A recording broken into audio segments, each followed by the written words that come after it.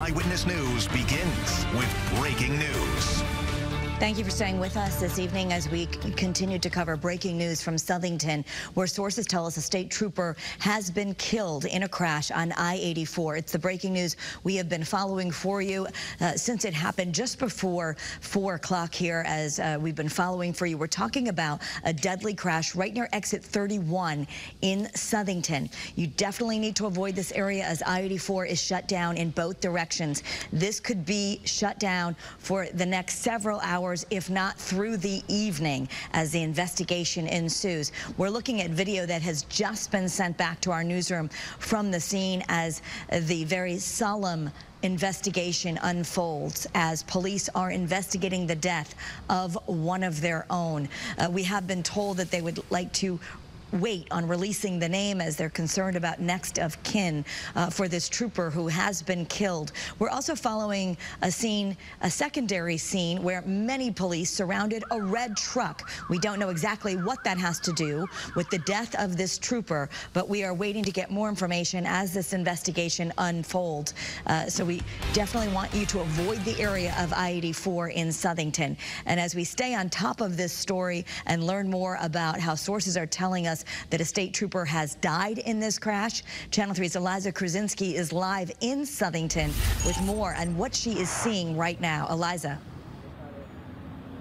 Kara, even from the distance we're at here, it's you can feel the pain that these troopers are going through. Take a look here. This is as close as we can get. We're at the Mobil and 110 Grill on West Street, about a mile away dozens of flashing lights. Traffic stopped for miles.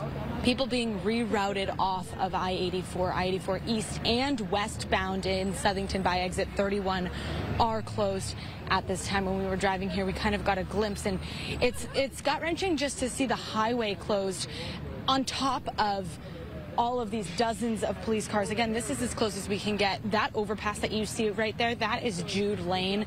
We have a crew that's heading there uh, right now to kind of get a better vantage point, but that looks like where this crash happened. So again, all we know right now, like Kara said, this highway is shut down. Please seek alternate routes.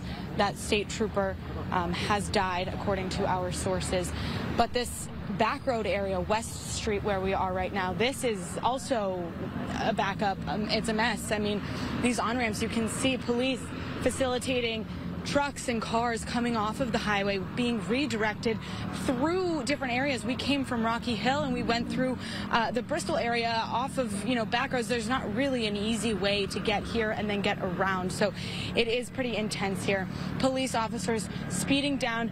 I can actually I can actually hear some in the distance right now as well. Uh, police officers have been coming down.